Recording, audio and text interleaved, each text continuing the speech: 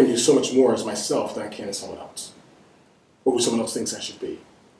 Um, so what I was able to get here was myself. Um,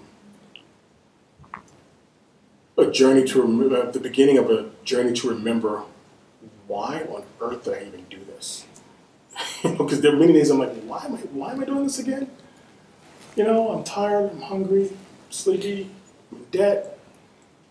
Somebody just threw up on me.